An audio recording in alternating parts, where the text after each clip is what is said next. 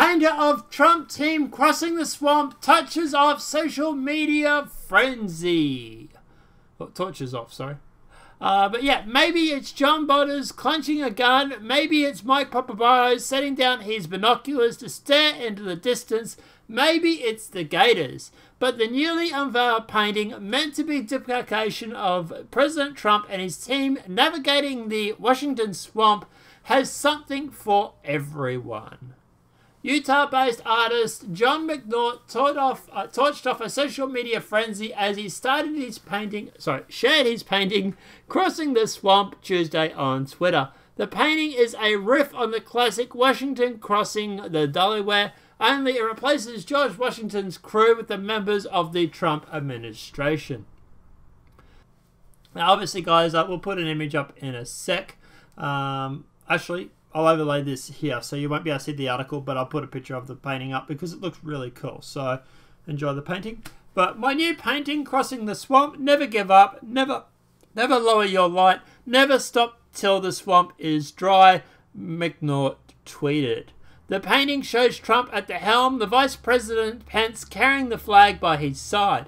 Mr. Nort also identified the rest of the US ambassador to the UN, Nikki Haley, Defense Secretary Jim Mattis, Housing and Urban Development Secretary Ben Carson's, Attorney Jeff Sessions, First Lady Melania Trump, Se- uh, State sorry, Secretary of State Pompeo, White House Press Secretary Senator Sanders, and the President's daughter Ivanka Trump, National Security Advisor Bolton, Kellyanne Conway, and Chief of the Staff John Kelly.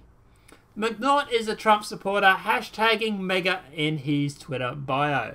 Trump endures the crossing the swamp of Washington D.C. as he carries the light of truth, hope, and prosperity. The murky water of the deep state is laced with dangerous venom, perfectly willing to destroy the American prosperity for their per personal ideologies and financial gain, McNaught said in the latest painting on his website. McNaught also wrote that he hopes people will study the painting and try to understand the deeper meaning. No matter how earnest the artist's intentions, the painting quickly became Twitter fo- fod- fodder, sorry, as users seized on the very old quirky aspects.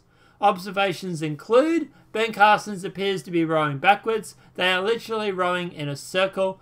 Pretty sure uh, Prudit, might be mispronouncing, took the uh, cruise line route. Looks like Junior didn't make the boat. Um, so yeah, obviously uh, things like Melania when we caught dead in camo hunting, uh, yeah, stuff like that. Twitter can be cruel. McNaught has used several other paintings on his website about the Trump administration. One titled "Make America Safe" depicts Trump standing in front of a white picket fence with an open lock holding a key and the American flag waving in the background. Another titled Respect the Flag shows Trump on a football field hanging a ripped flag. I remember this, I think I've actually reported on it, Ashley. Seemingly referencing the president's battle with the National Football League over players kneeling during the national anthem.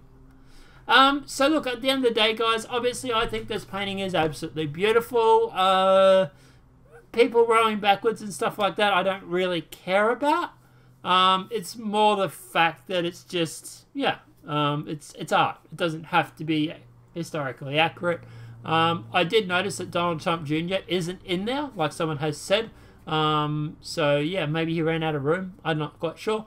Um, but Melania's in there. Um, Sarah Huckabee Sanders is in there. Uh, a lot of the White House press secretary and, and White House staff are in there. Um, uh, obviously, Ivanka Trump is in there as well. She's at the back. I think that's her at the back behind uh, near Melania there.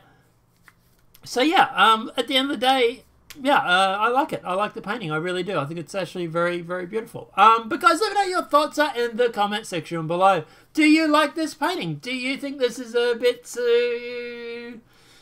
I don't know, uh, cringy? Uh, for lack of a better word, I suppose. I don't know. What's your view on this? Do you like the painting? Do you hate it? What, what do you think Donnie Jr. should be in there? Let me know what your thoughts are in the comment section below. If this video has been helpful, please smack a like. If you're new, channel welcome and subscribe.